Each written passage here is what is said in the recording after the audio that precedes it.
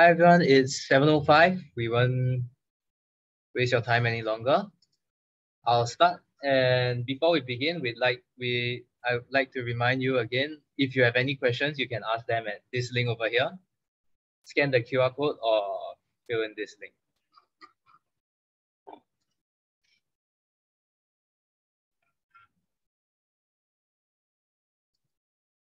Okay, so hi everyone, I'm Ho Chi and with me is Chong Cheng the only other person whose camera is on. And we are going to be your instructors for today's workshop on spiking neural networks. And before we begin, we'd like to introduce MLDA at EEE. So MLDA at EEE is a lab dedicated to anything related to machine learning and data analytics. So the lab aims to allow students to learn and apply technical skills while connecting to like-minded individuals and industry leaders. So the lab therefore hosts a wide range of activities ranging from deep learning to regular workshops, which is open to all students.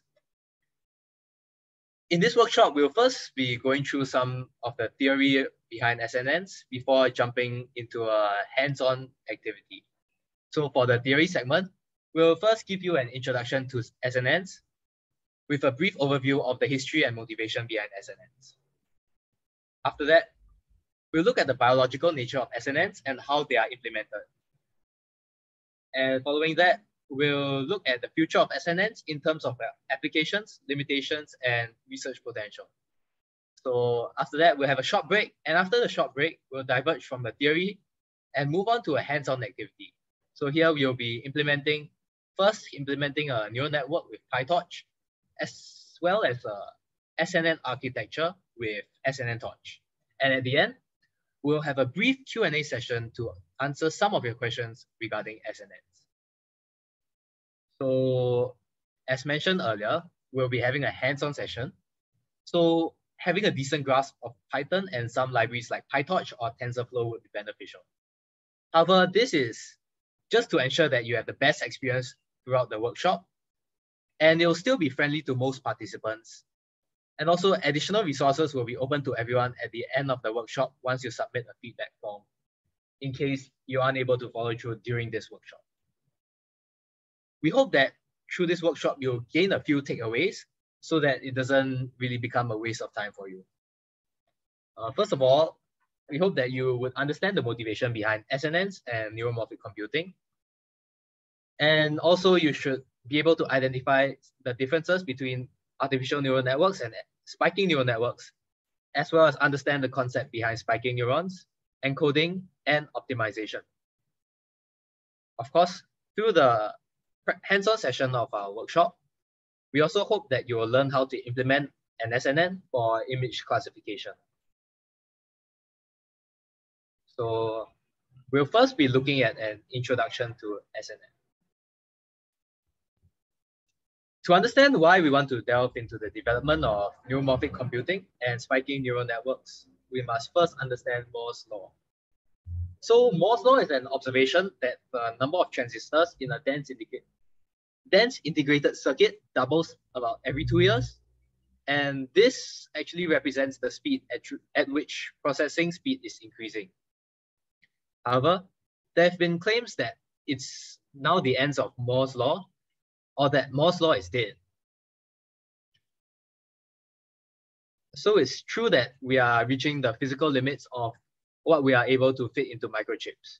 However, there's been a lot of research that has been done in two fields to try to surpass this physical limit. One of which is more well-known, which is quantum computing, which utilizes quantum states to perform calculations. Quantum computing is highly powerful and is used in some areas due to its security and speed. However, there are challenges in, regarding quantum computing, and other than these challenges, quantum computing is also geared more towards large-scale computational problems.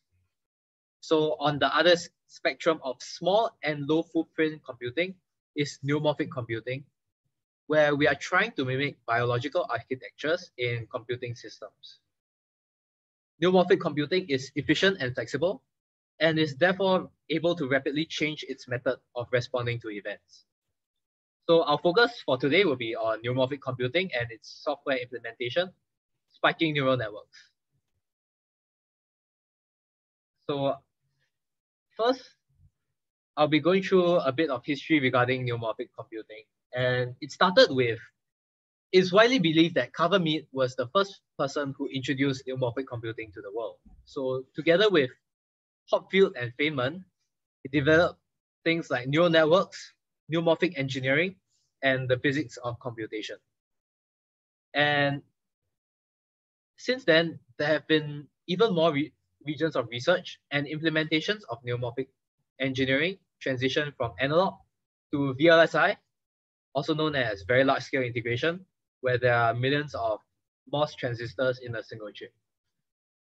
More recently, neuromorphic computing has become more prevalent and talked about due to the booming popularity of AI and the use of neural networks in them. So due to the greater interest in AI, different forms of neural networks are getting more attention and work being poured into them. And spiking neural networks are one of the beneficiaries of this AI boom.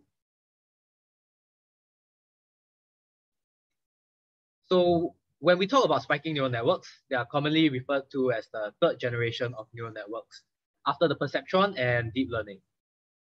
However, what makes them different from the earlier generations of neural networks? So if we look at the earlier generations of neural networks, they would usually look something like this. And right here, this is a simple diagram of a multi-layer perceptron, which is a form of deep neural network with an input layer some hidden layers, and an output layer. The neural networks typically used in deep learning is usually more complicated than this with much more hidden layers, but this should suffice as a simple demonstration for you. Uh, what happens basically is that information will propagate from the input layer through some hidden layers to the output layer via a process known as forward propagation. And from the output layer, an error is calculated with the final output and the correct result. And we try to, and based on this error function, we try to adjust the values based on the pro process called backpropagation. When we look at an individual neuron, it takes in some weighted input, passes it through an activation function, and passes it out to the next neuron or as an n value as a single output y. However, if we look at biological neurons, they don't actually work that way.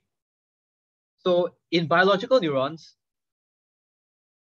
the way neurons communicate is by forming synapses, like over here, and then sending information through electrical signals, which exist as spikes, like this. And so our original neuron, which is used in the neural networks, is very far from how biological neurons actually work. The voltage graph at the bottom right shows how the spikes are formed based on ion channels opening and closing and allowing the diffusion of ions through them. And therefore generating the spikes as we can see here. So after this, I'll be passing my time to Chong, Chongsheng, who will be elaborating more on spiking neurons, encoding and optimization functions, as well as what spiking neural networks can be used for.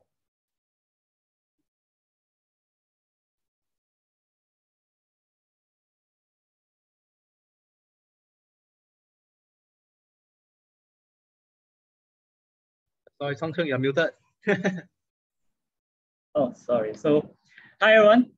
So thank you, Hochi, for the explanation of perceptron and deep learning approaches. So now we actually move into spiking neural network, where we actually take in information in the form of spikes and then uses those spikes as kind of signals to propagate through the neural network before we get an output.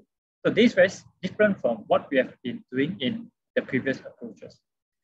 So to start, we can first look into the neuron itself. So if you look here at the diagram, this is how a typical neuron in a spiking neural network looks like. So on the leftmost side of the figure, you can see an input spiking neuron. So based on the data that have injected into the spiking neural network, you actually have produced some spikes from this input neuron. And this will be weighted and having a bias, just like what we have done in the previous perceptron, and then inject it into another neuron, which will produce more spikes. So if you look over here, this is an example of a fully connected spiking neural network, and then you have it's very similar to what we have seen just now for perceptron, but I think the main difference that you can all observe is that the fact that these are now using spikes instead of like X and Y values, which are kind of binary or analog values. So this actually leads to the characteristics of SNN, which are its sparsity as well as its event-driven properties, which are important, especially when we talk about low power computation. So in terms of the mathematical models which can produce this kind of spikes, there are actually three main common models as shown on the screen, namely the Hodgkin-Huxley model or HH model, the Izhikevich model, and last but not least, the Leaky Integrate and Fire model or LIF for short. So all these three models are kind of different in the ways that they, the mathematics actually explain how the spikes are being produced.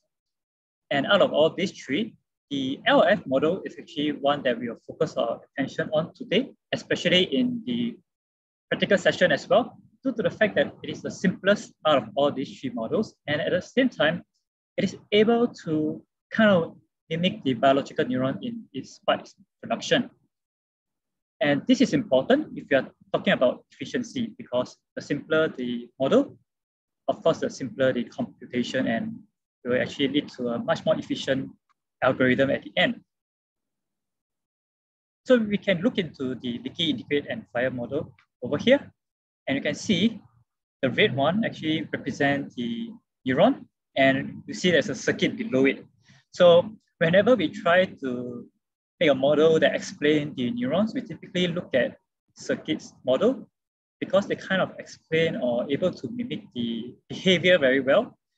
And this, in this case, the LF model, you can see that as there's more and more stimulus to the neuron, you actually add on to uh, generate a pulse where the membrane voltage, as you can see in red, will slowly increase. And then you actually, at the same time, you slowly decay due to the kind of the interaction within the neuron itself, due to the resistance as well as the capacitor as shown on the circuit. However, as you increase and increase more and more of the stimulus by having more and more of this red pulse input, you see that the membrane voltage will slowly increase to the point where you touches the membrane voltage threshold. So this threshold value, once it's reached, you actually produce a spike before you actually return the membrane voltage back to the resting potential. And then you actually exist as a refractory period where no more spikes will be produced. And then after that, only after this period, your pulse could actually affect the membrane voltage again. So now this may seem very complicated. When you look at the right-hand side, this is actually the mathematical model. But if you break it down further, it's actually quite simple because it exists as a first order differential equation as shown on the top right, whereby you have the parameter which include the time constant of the membrane, which is affected by the resistor as well as the capacitor as shown in the circuit. And then you have the du dt, which is the change of the membrane voltage, equals to the membrane potential, UT, and the resting potential, URES, plus the resistance of the membrane, as well as the current that's passing through the neuron. So if we rewrite this into the, in terms of the membrane potential, you see we obtain the resting potential add, added with the other terms on the right. So by using Newton method, you can simplify this to make it more easy in terms of implementation which is by using ut equals to the previous membrane voltage plus the du over dt, which is the change. And over here, if you break down the current, it is actually into three different currents component, namely the synaptic current, the noise current, and last but not least, the injection current. So how we actually inject or process the data is actually one way is to do this injection current, whereby if you imagine an image such as what you're looking at right now, is actually made up of a lot of pixels, and each pixel is a form of value and data, and can use that data and convert it into an injection current, and this will actually produce spike when you inject it into a neuron. Other than this, you can think that the biological neuron doesn't really work in this way, in the way that they process data. Instead, how you do is, what it does is that you actually encode all the data and information that we obtain through our sensors and encode it right into spikes through spike encoding scheme on the screen shown here. So there are three common ways to encode the spikes, namely the rate coding scheme as shown in A, the time to first spike in B, and last but not least, the interval spikes interval scheme as shown in C. So these three are some of the common spike encoding schemes and can look further into the, each of them in details. Each of them actually have its pros and cons in this implementation, but you may ask like, why not we use all of them together? Or like, how come there are different encoding scheme? Because the fact is that neuroscience is kind of the one of the key drivers behind the field of spiking neural network. And we still do not exactly know how the biological neuron actually encode information. And it's an on-current process and research areas that's currently going on. So if you look at A, to zoom in into A, the rate coding scheme, what it says is that you can set a time step of, let's say 10, and then within that time step, how many spikes are being produced. And in this case, you see that there are five spikes. And then you can get the rate, which is in this case, just 5 over 10, which is 0.5. On the other hand, the time to first spike is just really, as the name suggests, it is the time where the first spike occur. And last but not least, the ISI is just what is the interval between each of the spikes. And then we can do some manipulation with that. So when we look into the, we compare them, if you are talking about speed or like how fast this computation can go into it, actually, the one that will perform the fastest is actually B, because you see that we're just taking once a spike occur, we straight away we have the value, and then we can output the value. On the other hand, you have to remember that if you actually just take purely the time of the first spike, noise can actually affect how the encoding scheme is going to encode the data. That's why, in this case, if noise is very important, you will want to use the rate coding scheme, whereby you are just finding the rate, and then other noises will just affect it, but not as much as the TTFS scheme. So that's actually how the neural network actually encode the data into spikes and use it to input into a spiking neural network in a biological brain. So now that we have learned how the neuron works and also how they can encode data and inject data into the spiking neural network, what we want to know next is how do we optimize it? As what Ho Chi discussed previously in kind of the previous implementation in perceptrons and deep learning approaches, we're always trying to optimize it using some form of loss function and then trying to reduce that loss. So over here, we can see this diagram actually represent how the optimization can be done. So the orange line or orange curve actually is the loss function. And all the further iteration, we are trying to reach the minimum. So as mentioned, we are trying to reach the lowest loss that is obtained for the neural network. This is done through commonly through stochastic gradient descent or SGD with backpropagation. So what it does is that you input the data into the neural network, it propagates forward into the neural network and give out the output. We find the output and compare it with the actual value during training. And then we find the loss and then try to reduce it by back propagating throughout the whole neural network again and try to minimize the loss through the adjustment of the weights as well as the bias or any other parameters that are involved in it. So it actually requires a function to be differentiable and convex. But if you think carefully, what we have explained just now is that when we talk about spikes, they're actually discontinuous. So as shown here, we're actually using spikes. So these are actually discontinuous. So we can't really do this SGD with backprop very easily using SNN. And this is actually one of the research areas for SNN as well. Some potential solutions that we propose in research, they can be classified into backpropagation variants, also a supervised learning, or the unsupervised approach. So in the backpropagation variants or one of the supervised approach is actually using the surrogate gradient learning. It's very popular. And how it works is that if you look at the screen here at the graph, we have the loss as well as the kind of initial and final value of the position. And when you talk about spikes, having an impulse function, you obtain a kind of a gray value as shown on the graph. which is discontinuous. However, if you actually use a function to approximate it or smooth it, you obtain the purple line as shown. And this is actually differentiable and convex such that you can do your backpropagation with it. On the other hand, we also have an unsupervised approach as mentioned, and one of the most popular and uh, hot topic in this area is actually the spike timing dependent plasticity, STDP. Because if you think about how the human brain or the biological brain works, is that we realize we do not really need supervised approach all the way. We can learn things on our own through unsupervised approach as well, through experimenting and then trying to, based on the data, we can reduce some inference. So this flexibility can be inbuilt into uh, SNN through STDP, which is why it's very popular. And how it works is that as you can look at the screen, the graph, we have A and B, and this two actually shows when the post spike as well as a pre-spike occur.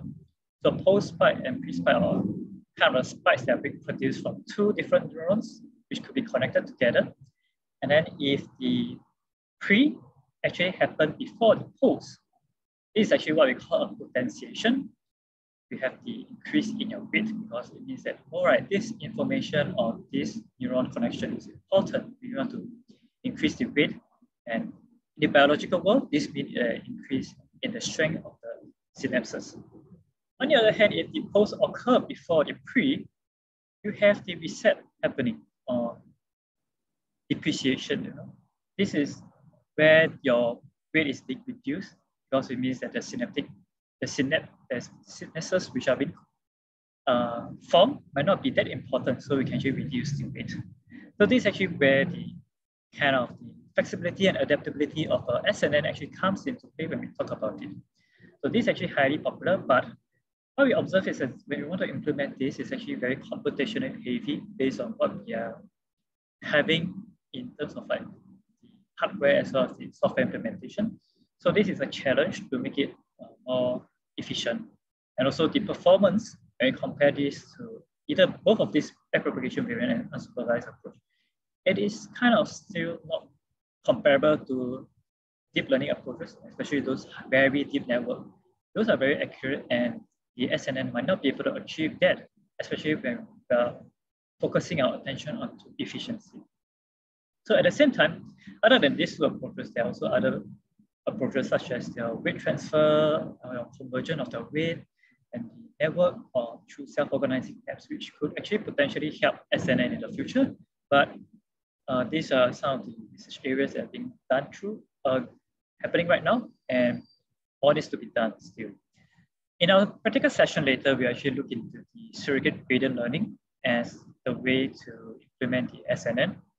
And later on, we, I will also share about why this is actually popular at this point in time. So other than the limitations that we have talked about just now for SNN, it is a, still a very highly viable option to go into, especially if we talk about low power and uh, high efficiency application. So other than that, when we want to simulate the brain, the SNN is very important to kind of use it to, as a model to understand the human brain or the biological brain. So actually, as neuroscience develops, we kind of better understand the human brain and we can better implement uh, SNN. And that in itself actually allow us to better achieve algorithms that are more accurate in terms of this modeling of the human brain, which kind of works in both ways as a feedback loop. So other than that, you see that the efficiency as well as this adaptability is very important in various applications such as your satellite image processing. As shown in figure three, this is actually the camera that was sent into space that uses a neuromorphic sensor with SNN as its core. And then we also be using for, especially for bio signals and bio kind of wearables devices, low power efficiency is important. And at some points, when we talk about interaction with the nervous system, the SNN might be used due to this close resemblance of how the biological brain works. And yeah, as mentioned, we have the edge devices, automobile processing units are is also a hot topic or hot field of application that SNN is being used. So in figure one, this is actually the Intel Loihi 2 chip, which was released not long ago. It's a new neuromorphic processor that can actually utilize the SNN and more specifically the LF, LIF SNN. And figure two is a Akida neural processor, which is a startup, it's produced by a startup which actually works on uh, neuromorphic computing and SNN. Other than all this, we also have some big companies which are doing this, like Intel, IBM, Qualcomm, A-Star, and some research institute. So one of the first few kind of actual neuromorphic chips that uses SNN actually comes from Qualcomm with its Zeroth processor, but that was very long ago and it didn't really reach a very high success. But uh, over the years, the area of neuroscience and hardware and as well as the AI field, as mentioned by Ho Chi, has grown tremendously and that has actually enabled more and more development being done in this area of SNN as well as neuromorphic.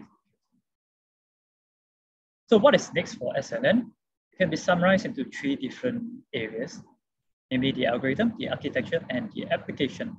So for the algorithm, as mentioned, we always want to try to reach a comparable performance with the deep learning approaches that we saw previously.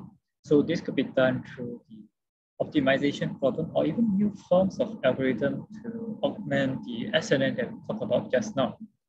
On the other hand, when it comes to architecture, it could be in the form of the neural network architecture and also in terms of the actual hardware architecture because uh, SNN will be most of the time transform onto the hardware if you want to really utilize the low power or event-driven characteristic of SNN.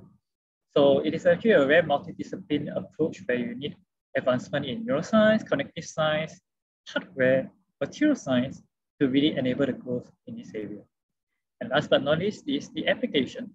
So in terms of SNN, also neuromorphic computing, really when we talk about all these devices or this breakthrough, we always want to know, like, so what? Are they able to really solve the problems that we have? And when it come into play of application, you actually determine the new requirements as well as the potential of SNN as well. So it could, comes in both ways. The fundamental research will lead to better understanding of it.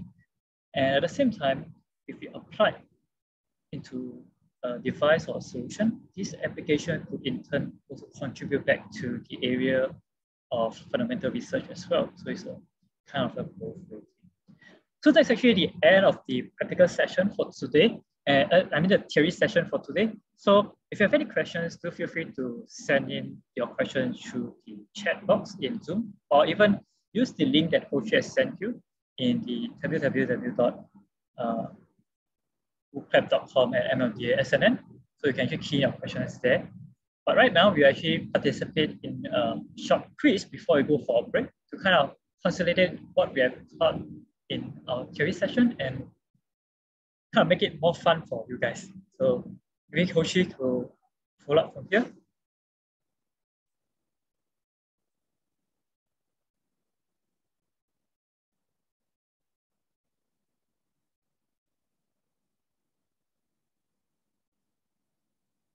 Can you see my screen? Yeah. Okay.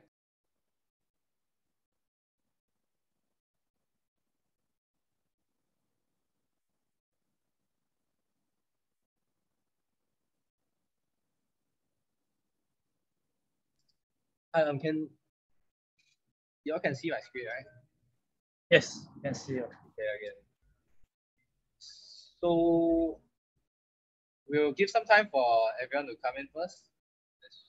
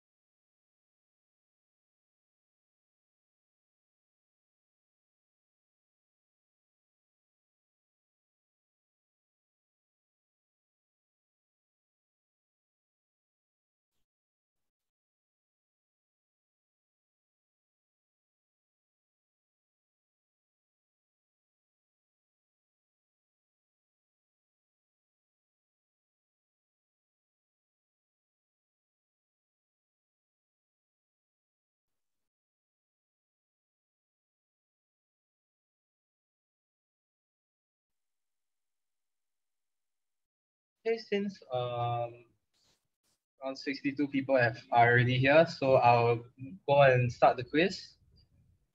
Um, don't worry, it's not graded or anything. It won't count into your GPA, so just have fun. Oh, whoops. I'm sorry, that wasn't supposed to happen. But yeah, y'all can select the answers and I'll show the show the answers later on.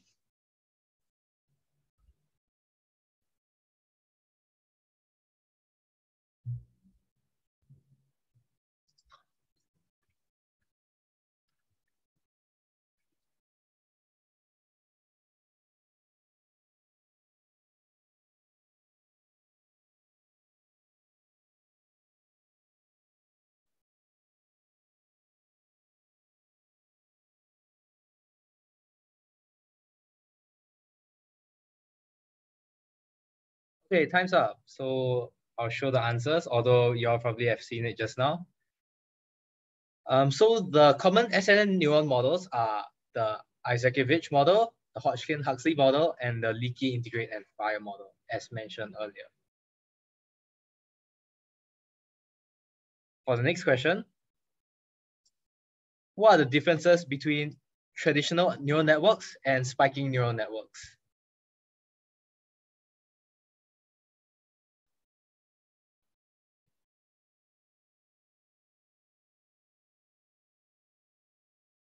There's a timer here, so y'all gotta answer quick.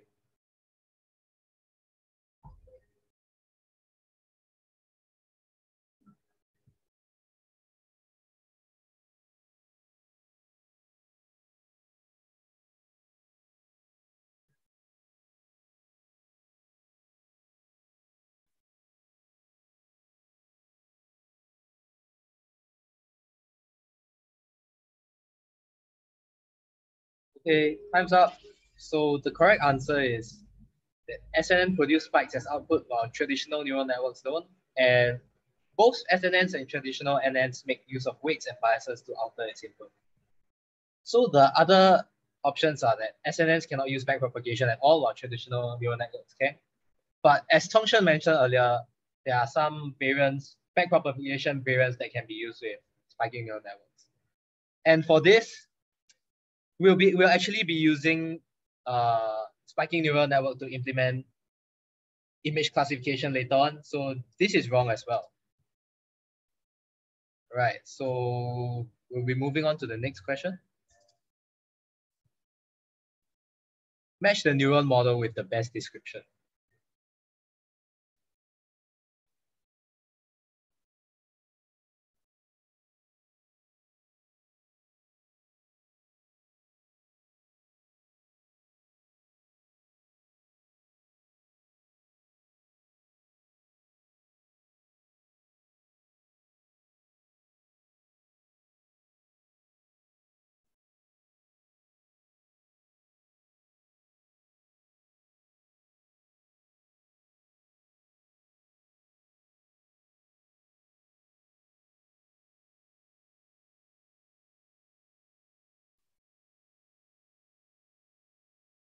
Okay, time's up. Let, let's show the correct answer. Okay, looks like most of you most of you managed to match them correctly actually.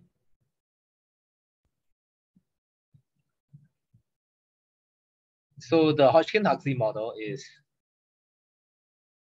actually the most accurate model of the biological neurons, and it's actually one of the earliest ones. The leaky integrate and fire model is the simplest and most effective model, and it's what we'll be using for the implementation of spiking neuron later. And the Izhikevich model is the a more computational efficient way to replicate neuron spikes than the Hodgkin-Huxley model, but not as efficient as the leaky integrate and fire model. Moving on to the next question. What is Moore's law?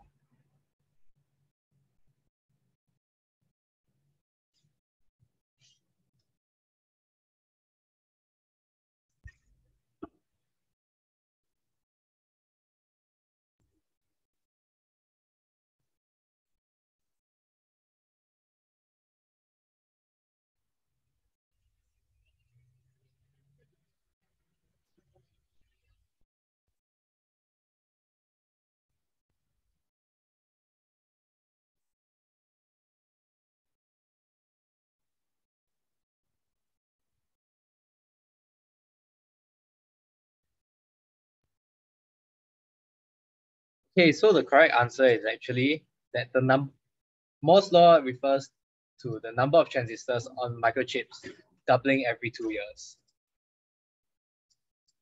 So yeah, basically the rest of the answers aren't correct. And this is the only correct answer.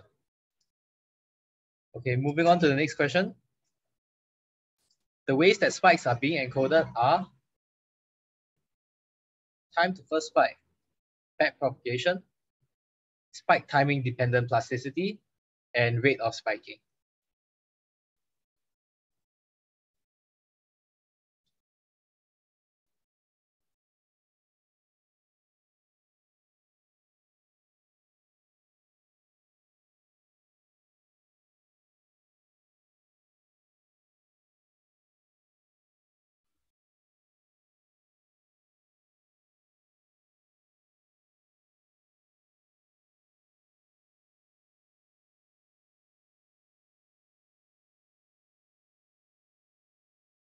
So this is another multiple choice question. I'm a question with multiple answers. And the two ways that spikes are actually being encoded is time to first spike and rate of spiking.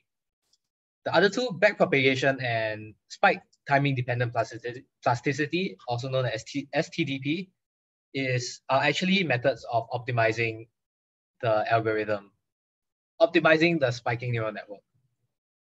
Okay, so on to the last question for today. What is not a component of the LIF or leaky integrate and fire model?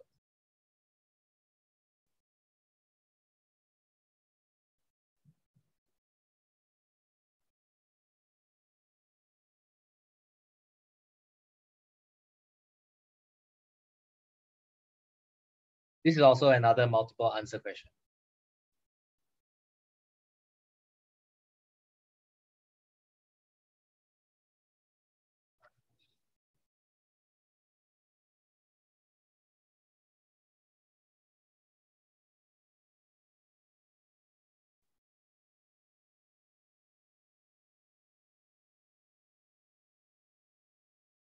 Okay. So the correct answer, oh, whoops, my bad. This this is not a multiple answer question. This is actually the, the only the only correct answer is this because they are asking what is not a component of the LIF model. That's my bad. So activation, the activation function is actually only present in the traditional neural network models, such as convolutional neural networks and the multi-layer perceptron. And that's it for um, our quiz today. And now we'll be taking, taking a break for around 10 minutes until 7.55. And for now, you can go ahead and ask your questions on Wooclap and we'll be going through some of the, we'll be reviewing some of the questions and trying our best to answer most of them.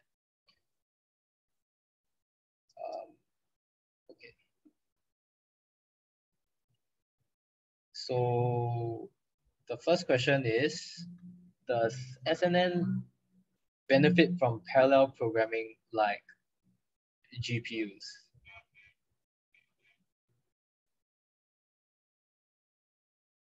Um, actually, regarding this, right, uh, uh, I'm actually not I actually think that spiking neural networks will benefit from parallel programming as as with other um, neural networks, but I'm not very sure on this. Um, could Chongsheng confirm on this?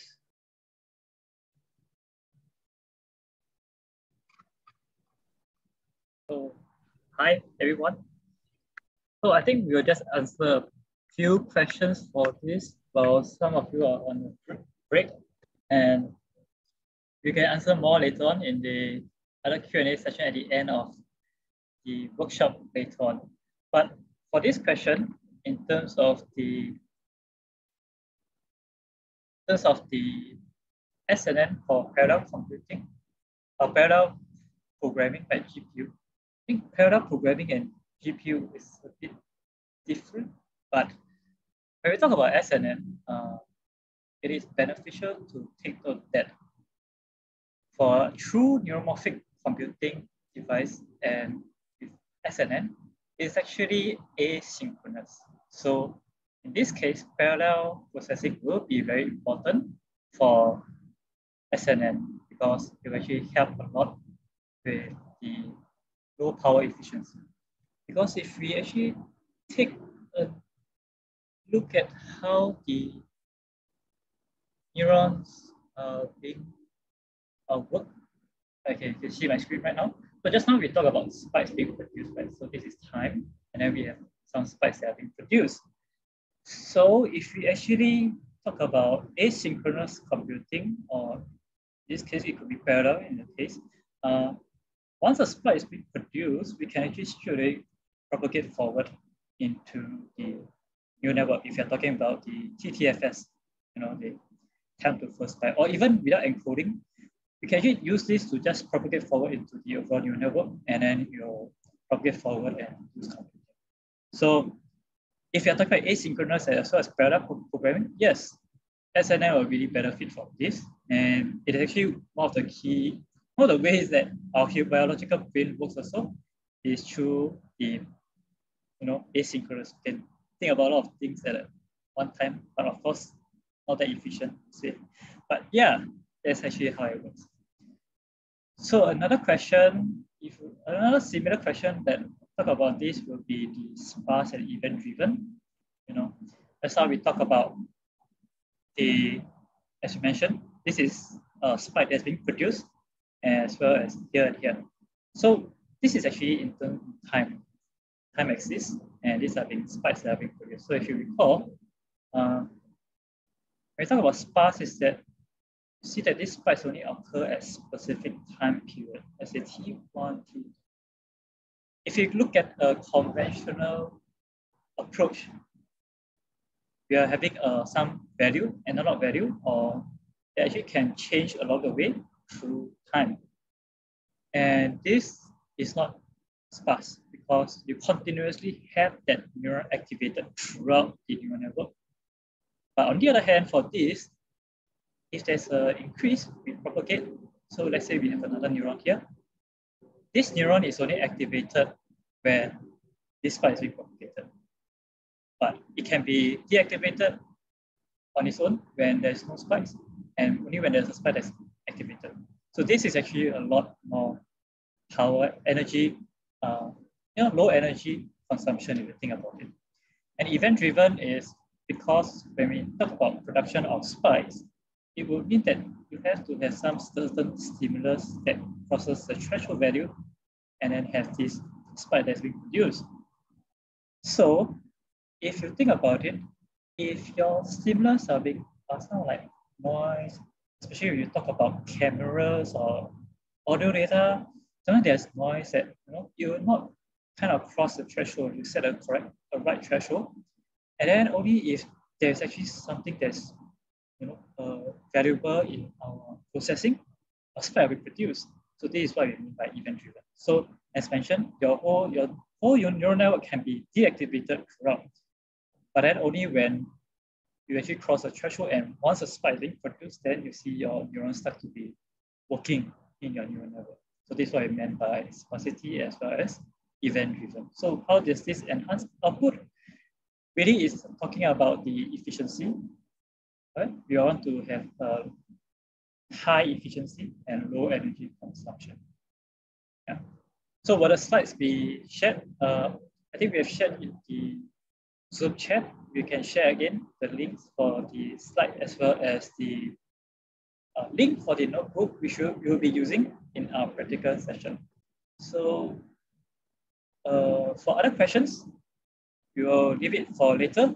But for now, maybe we can we'll actually start the hands-on session uh, soon. So you can actually faster go for a toilet break or something. So we'll come back and then start the hands-on session at 7.55. So the rest of the question will be, uh, we'll try to answer them later on at the end of the workshop. So yeah, so if you have any further questions, please type here and we'll try to answer all of them at the end. If not, we'll actually put in some of the answer in Word document and then put it in the additional materials that will be available after you submit the feedback form at the end of the workshop as well.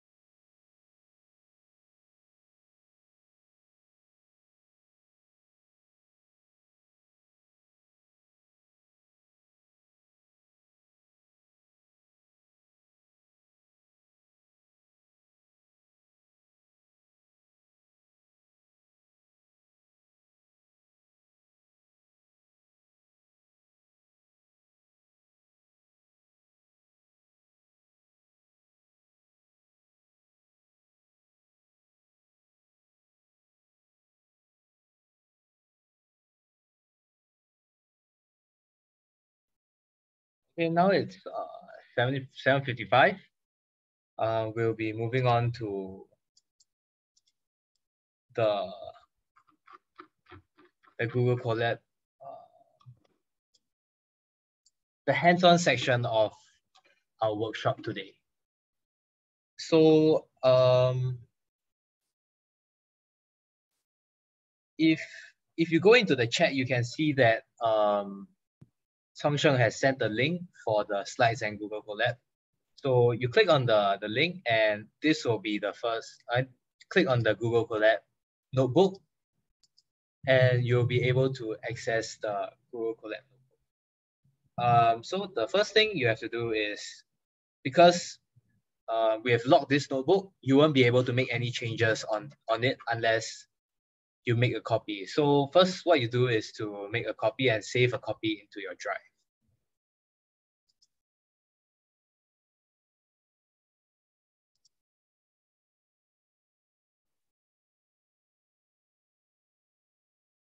And once you've done that, you can change the name of this into whatever you like. So you could remove the copy or you could change it to something, yeah, something nicer. um, and so first of all, um, you don't have to do this, but doing this will increase your the experience, make the experience better which is to change the runtime type to that of a GPU. So first what you do is to click the runtime tab on the top, change runtime type, and if your hardware accelerator is none, change it to the GPU and save it. Um, although they recommend not using it unless you need one, it doesn't cost anything and it's free, so might as well just use it, right? So click save and we can kind of begin now. So the first part of the hands-on activity will be done by me. Um, and we'll be implementing an image classifier with a convolutional neural network. The dataset we'll be working with is the MNIST dataset. Um, this will be the same dataset you work with for the SNN as well. So yeah. So for the first cell over here, if you can see on your own uh, Colab notebook as well, we are basically trying to import some functions that will be used later on.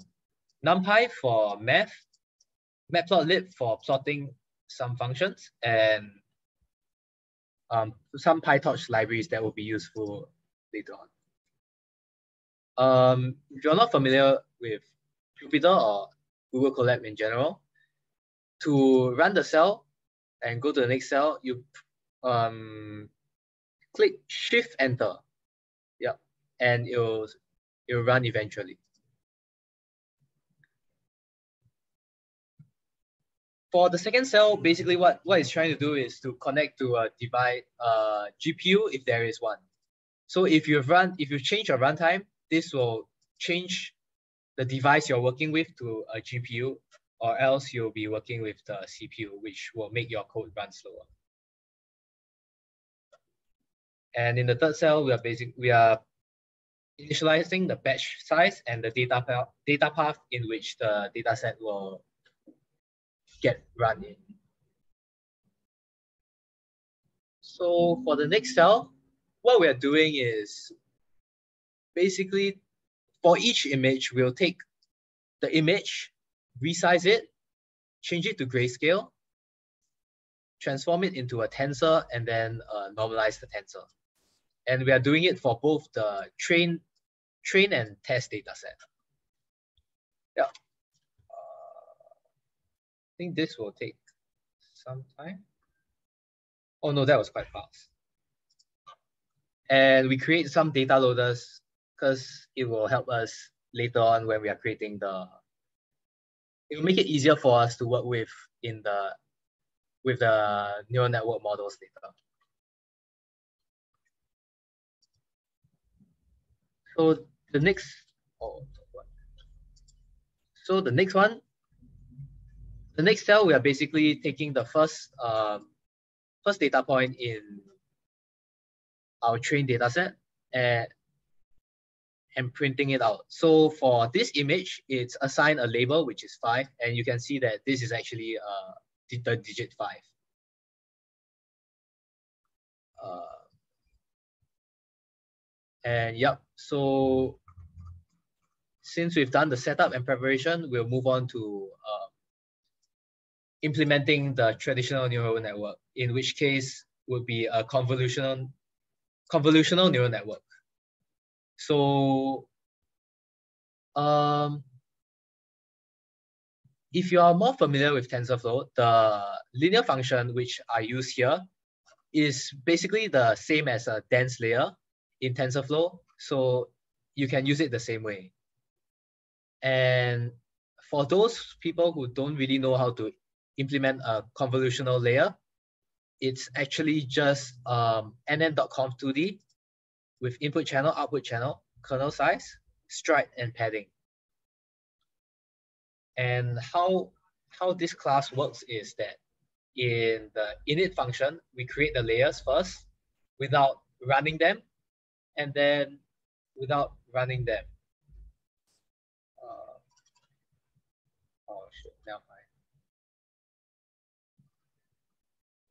Um, so we, we actually first create the layers. I'm not sure why my keyboard isn't working. But we first create the layers without, you know without running them. And then in the forward propagation stage, we forward propagate the function value through all the layers that we've created. Um, so the task for you now is to create the, the two convolutional layers based on the instructions given above, which is this. So the things you have to take note of is that the input channel given is one,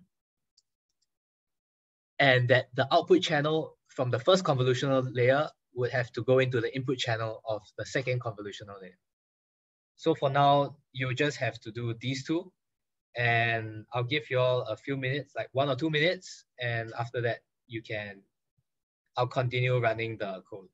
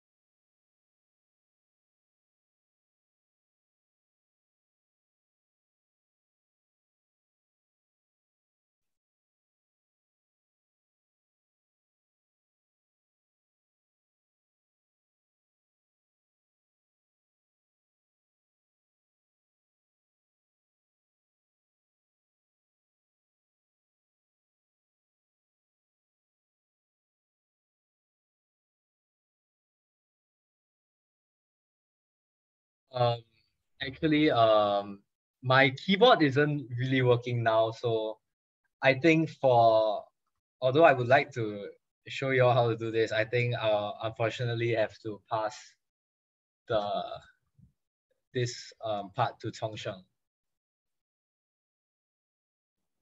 Okay, so yeah, as mentioned by Hochi, uh, I hope that you have tried this on your own, but we will just show you how it's done uh, as well so that you will not be lost. So in terms of the convolutional layer, as mentioned by Hochi, how you implement it is following this command, we call the conv2d. Since you're using image, it is two-dimensional. And for the first part, we can put input channel because it is what we have specified in the as part of the argument, followed by the output channel. In this case, we put 16, but if you want to play around with it, sure, you can try other values as well. And in terms of the kernel stride and padding, we just follow along, just put five, one, two. Then the next one we have to write for the next conv2 layer after your pooling layer. And in this case, we first write in 16 because 16 was the output channel for the previous convolutional layer. Then we put in this case 32 since we want to be 32 here. And again, similarly for the kernel size, stride, and padding, we put 5, 1, and 2. So these values can be changed and then you can observe how it affects your output and performance later on. Okay. So once you run this, you should be able to obtain this. Uh, and then here we actually train and test the neural network. So first you specify what are the loss function and your optimizer you want to use since we are using uh, MNIST dataset, which is multi-class classification. We're going to use the cross entropy loss and optimizer, we're going to use Adam. So it can be other optimizer if you want to play with it. And your input number here will be two. Of course, you have increase it, you're gonna have a better accuracy, but you're gonna take longer to train as well. And after that, we can actually define some of the functions which are gonna help us in our training and testing.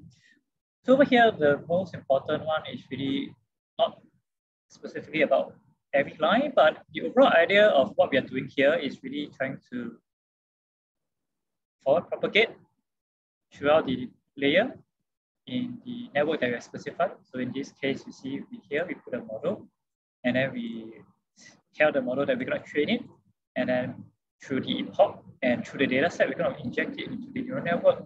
We're gonna forward, forward uh, propagate the value to get the output, and then find the loss, and then we bear propagation to minimize the loss. So this actually adjusts the bit, and this is each step of the optimizer and we can get the of get the accuracy based on the some manipulation of the output. Because remember, it's going to be a some several value, but we're going to get a highest probability of which class it belongs to. So we're going to use next. So this is for the training. We're going to do this for multiple epoch. In this case, is two. And for the test, we're going to run the evaluation of the model and then just run it through the test data set and see what is the performance. So if you run this, you'll actually obtain your, in here, we're gonna train it, you can train it and then see that after train, finish training, it's around 97% for its training. And when you test it, it's around 98 or 2%. And following that, for these two cells, what we are trying to see is really how it looks like in terms of the prediction and actual number. So the prediction in this case is run through your network and see what it predicted. And the actual number is shown over here. So you can compare them and see how, how they differ. And over here is where the see how the each of these values correspond to the data set. You can see here, image, CPU, and then we just see how all of this look like. So this actually just the part for the uh, conventional CNN approach. So I'm going a bit fast, but um, because we all like to move on to the spiking neural network compare it to what we have done for this CNN component. So to follow along, uh, I'll be going guiding you through the section three in this notebook, which is where we're going to use the spiking neural network. So first of all, you have to port this library called SNN Torch. So there are actually various libraries which are being implemented in recent years with the you know, popularity of SNN more and more popular. So SNN Torch is just one of the many. There are actually other uh, libraries you can use to implement it, but we, in this workshop, we try to use the SNN Torch. So you can actually visit the various links here to get more information about the library and the other uh, useful libraries will be provided in the additional info, as mentioned, in the additional materials which you'll get after you submit the feedback form as well at the end. So here you import the SNN torch. So similar to what we've done for your PyTorch, we import SNN and then we import the surrogate as well as SF. So if you recall what we have gone through in the theory lesson is that we're going to use the surrogate gradient to do the optimization for the backpropagation uh, part. So here, the surrogate actually refers to that surrogate gradient function.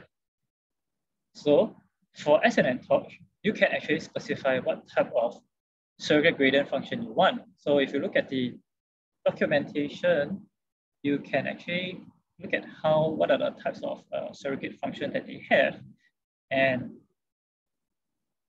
uh, you can see which one you want to play around with it you know, when, when you decide to play around with it. So some of it is Heaviside, or you have your sigmoid. So these are actually functions that, as mentioned, is to approximate your values of your, you know, your original discontinuous loss value, right? So how you do it is that over here, like to follow along, this one will be very fast. You just type surrogate dot class sigmoid, and then you can actually input the slope. So what, how smooth you want to make your uh, your surrogate function. But here we're just gonna put 25. Okay. So over here,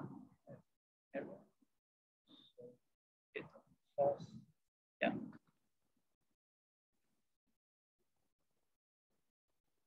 Oh my god, my spelling is bad. Okay, yeah, it runs. So then we want to define the neural network. So we're going to use the same architecture as what we have done previously, but in this case, we're going to make it spiky, you know. So you to do so with SNN Torch is very simple. If you look at here, you're to fill in all of this. So I hope you're to follow along with me. Uh, I'll give you some time also after I explain to really type in your values. So uh, first of all, the LRF is what we call the Leaky integrate and fire neuron that we talk about. So for SNN Torch, to implement your whole neural network into a spiky neural network, you can just add in all this after your convolution, convolutional layers. Just now we have conv2, conv1, and then uh, fully connected layer. So we just add this LRF after every of these layers. So how you do so is by using this function, SNN Leaky, beta, and spike gradient. So you just put here, Uh, and here, and here. So the beta, we didn't mention what's beta. Beta actually stands for the decay rate. So just now, if you recall in the slide, we talked about the, we talk about this. See that there's some decay. So this is actually what we are talking about. You know, the beta will actually control the rate of decay. So we actually specify that here, 0 0.1, 0 0.9. And when we talk about this, if you look at this again, there's a time step, if you recall, talk about time step being very important for SNN. You can specify what is the number you want as well. So if you put a larger number of time step, of course, it's going to take longer to compute. And but at the same time, you could potentially get a better result. But again, it depends on your implementation and how your neuron works. But yeah, it's very simple to implement this LF in using SNN Torch. So after this, over here, for the, after we have defined the overall architecture, we will define the forward mechanism, forward pass mechanism. In forward pass, you see that it's a lot more complicated than before already. What we want to do is we want to first initialize the neuron by doing so, by doing this one, initiate Leaky. And this can be done over here. And this one, I put a hash here. So you have to key in the value. So for memory, mem1, membrane 1 stands for the LF1 that we talk about. So similarly, we're gonna put here for mem so 2, here 3. So here is how you initialize it. So we will just give like 10 seconds for you to in these two before I go on. So hope that you have followed along so far. If you have any questions or difficulty, do feel free to write in the chat box and we'll get to you, okay? We'll help you make sure that uh, you don't get too lag behind. Yeah. So I hope that you have done this. Uh, now we actually move on to do the after that. So after we initialize the hidden states and your output for each, what it does is that this function will define what it's going to do in your forward propagation. So if you remember, uh, we're going to record, let's initialize some array to record the final layer. So we have the SPK tree, which is stands for the spiking record, and MEM3 is a membrane voltage. So for each of the time step, so here again, let's say we're gonna, this one will be a good example. We're gonna we specify 10 time step and gonna see how many, how, how does spike being produced in this time step. So you're gonna do a loop whereby you see whether a spike will produce at each of the time step, right? So how you do after that, you what you do at each time step is first you get curve one. So what is curve one? It actually is the current. So in this case, we are not uh, converting our data into the spiking form, as mentioned before. We are not encoding it. You can actually do still use the SNN by using them in the form of current. So this is what we are doing here. All right. Uh, and to do the current will actually be equals to the uh, output from your first layer. So after your convolution layer and your pooling layer, you'll get the output as the current. You're going to inject it into the LF1 neuron. So how we do so is that we use this self dot so we uh, call this one here. So again, we're gonna write in what is the number. So this one will be one, one, and one because it's the first one, right? First LF one, current one, we're gonna inject it, and your membrane voltage. What is the initial membrane voltage? We initialize here. So this is set here. So actually, it's very repetitive. After that, you just copy and do the same thing, you know, but we just change it to two here, change it to two, and here will be two, and last but not least, here three for the third LF.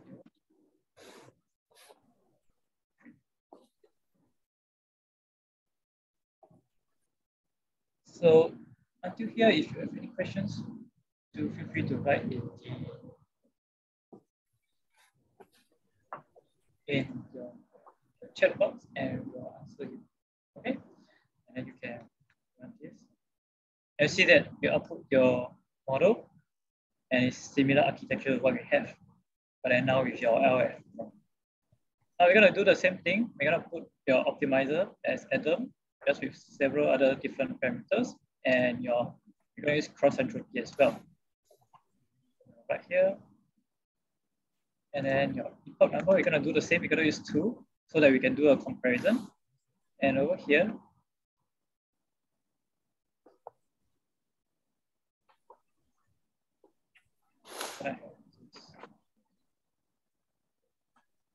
yeah.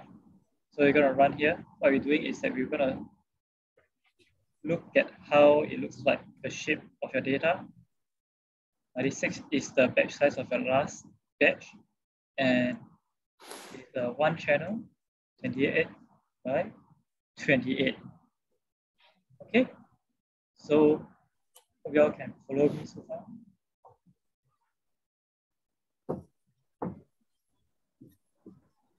now you can actually then train the SNN over here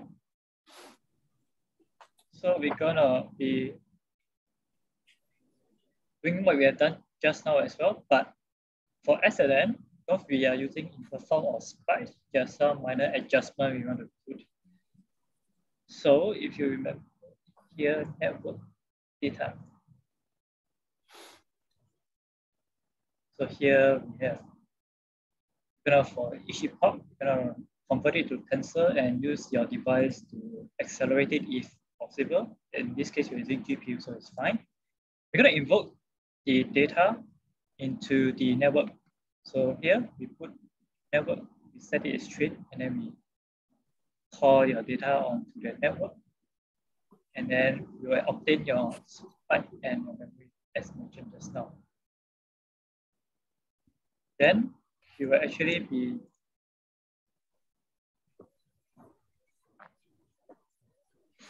we'll actually be moving on to the next one, which is to obtain your loss value, calculate the loss. So similar to what we have done just now, we call your loss and compare it with your actual value. Here. Yeah, so here we have caught your loss and then we do the same thing. You can do backpropagation as we did just now. And then you then your you update your loss history and then over here we're just gonna create it so that we can have a basic sensing of whether it's going right or wrong. And here we're gonna get the accuracy. So just now remember we import a library, uh, one of the module is uh, SF. So SF is useful because it can help us get this. Can help us get this accuracy rate. So this will convert your spikes into the value and compare it to the targets, okay?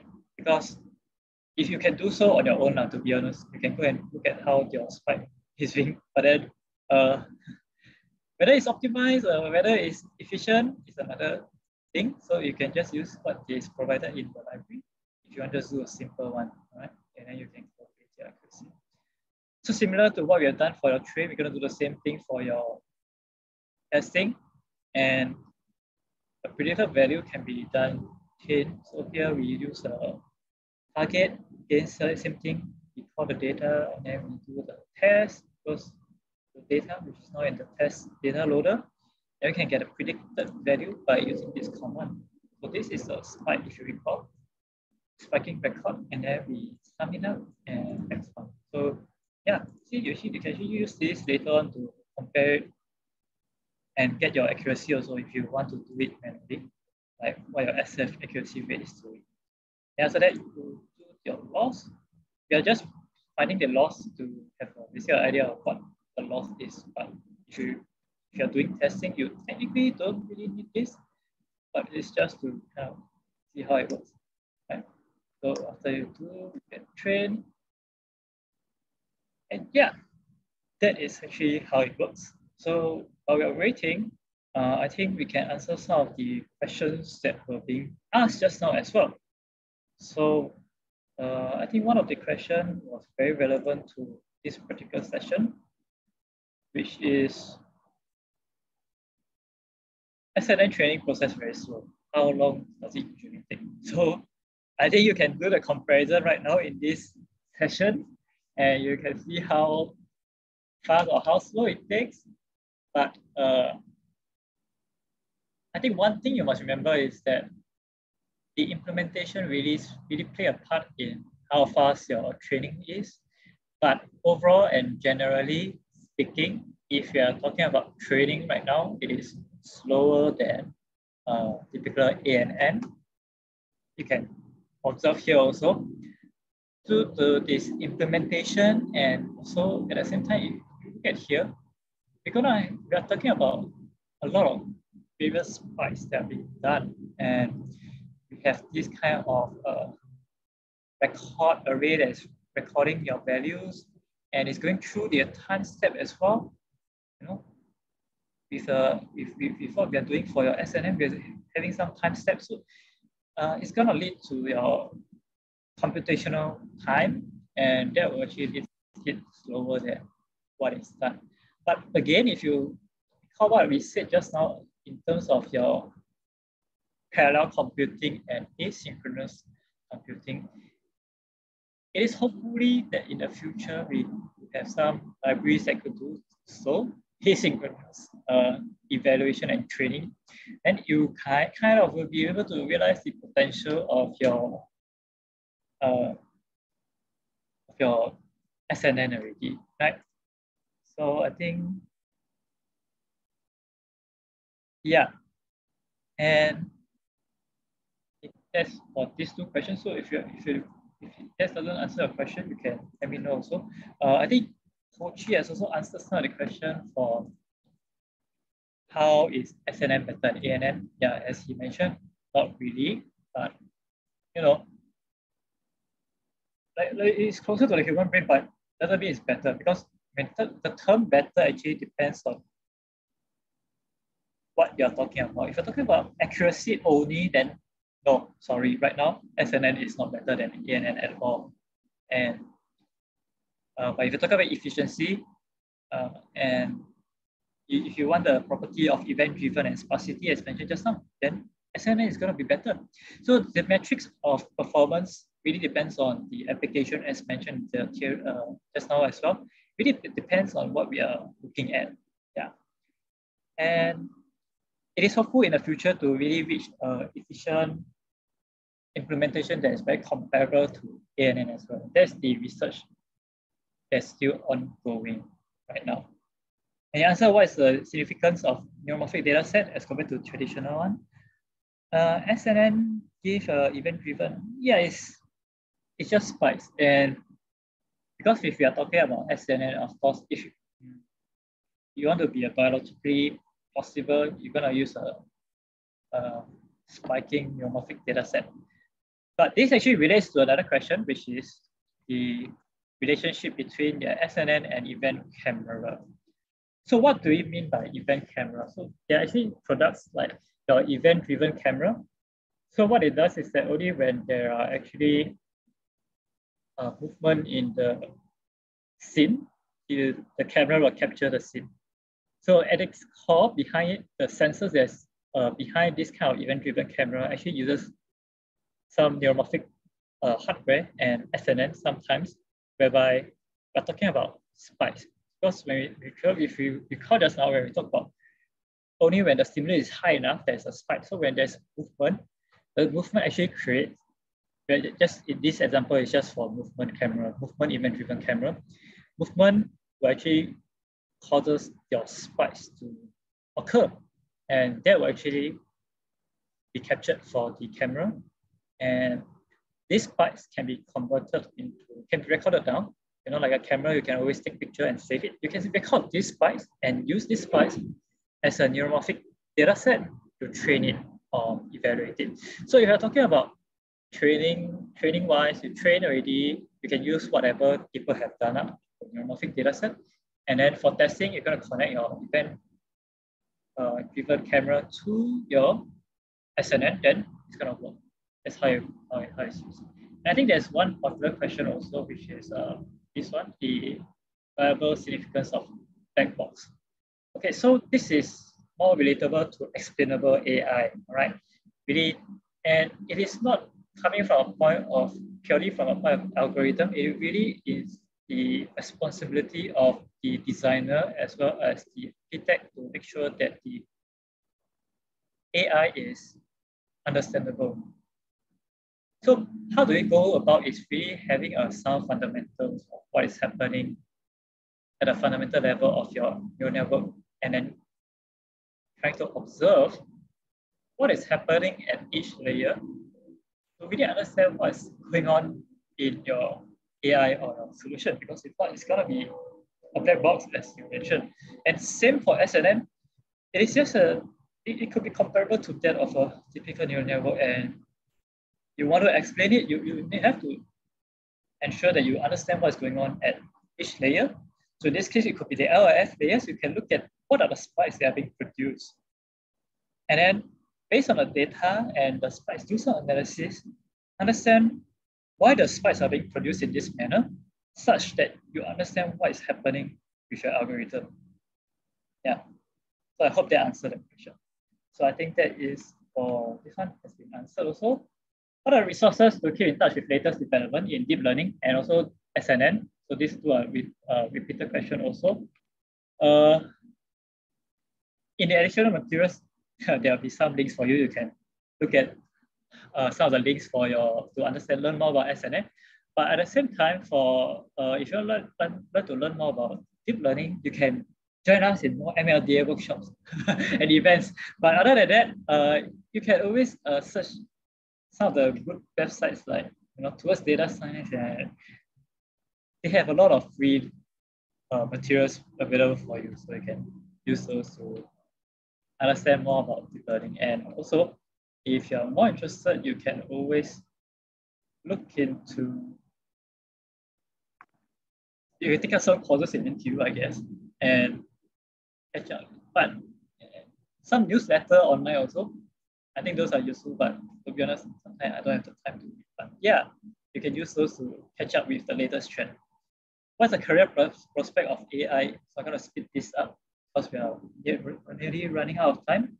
Uh, career prospect wise, AI Singapore is doing investing in a lot. As you can see, we have so many companies.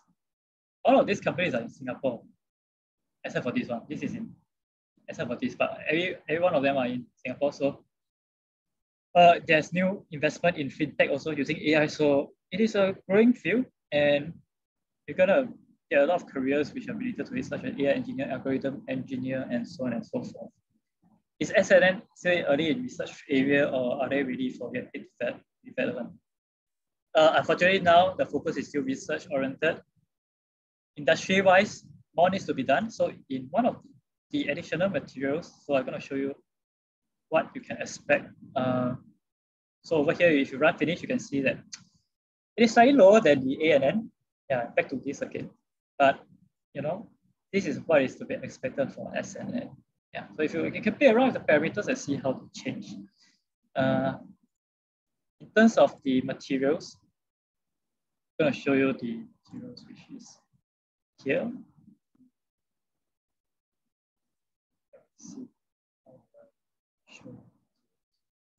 Ah, here.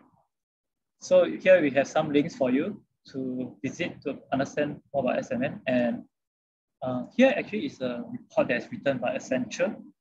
And it has some of the, if it goes off what we have mentioned also, but also coming from a more of an industrial standpoint and where neuromorphic computing and SNN actually plays a part in the future in the industry. So you can take a look at this uh, and you know figure out and see whether you want to do it whatever projects you're looking at. And last but not least, is SNN quite hardware dependent? Yes, uh, yes and no. As you can see, we can we can implement SNN here. It's fine, perfectly fine, sure. But if you want to realize the full potential of SNN, you will need the neuromorphic hardware. And what are we talking about this? Uh, talking about circuits which are built for SNN. So just now we mentioned about surrogate gradient, why we use surrogate gradient. Recently, there's a research that's just done where they're able to use surrogate gradient to minimize the errors when we use analog computing devices. Well, what's the difference? Why we use analog devices? When we talk about some of the chips that are being produced, they're digital right now, but if you talk about the brain, it is both in a mixed signal kind of standpoint. Uh, mixed signal is useful in a sense that you can do asynchronous very well and you could have a lot of energy saving. And it's also how we perceive data from the real world. So if you want to use a full-on neuromorphic hardware, the goal, the dream is always a mixed signal or analog neuromorphic device with SNN as its core. And that will be low energy and very, very similar to how the biological brain works. Yeah, and I think there's one more question that's faster go through. What is the significant this one? Can I say surrogate gradient optimization need to be performed interpolation beside SGD? Is it, it is always more costly? Yeah, if you think, if you, if you think about it, you, you're gonna, if you use surrogate gradient, you're gonna always have that surrogate being implemented as well. So it's an additional computation. And that's why we say that the goal is, the end goal of research is really to achieve STDP. And boom, we're gonna have like a, really like a, like a artificial brain. And then it raised to ethics question, but we'll not discuss that in this workshop. But yeah, uh, it's gonna be low power and very adaptable and efficient. So I hope that answers all your questions. So if you have any questions, do feel free to drop us an email in the slide that's been produced or uh, drop me a drop, uh, yeah, or just find drop me a message on LinkedIn. Uh, but now we would like to invite you to help us do the feedback form so that to learn better for what we have done right and what we've done wrong so that we could create better workshops for you to learn more as well. So yeah, go fill in this workshop and uh, feedback form, and then you will, at the end of the feedback form, you will get the link for the additional resources I mentioned here. So maybe Ho Chi can send also, he, he send the link onto the Zoom chat. So just click on the link, help us do the feedback form, and then you will have this access to your to the additional resources which you can play around with it uh, and we'll see whether it's helpful or not. If not, just drop me an email, then we can discuss further. Yeah. Hope you have enjoyed this session. That's actually the end of today's workshop. So do fill out the survey once again and once you're done with the survey and you have no more questions, do feel free to exit the Zoom session and have a great night ahead.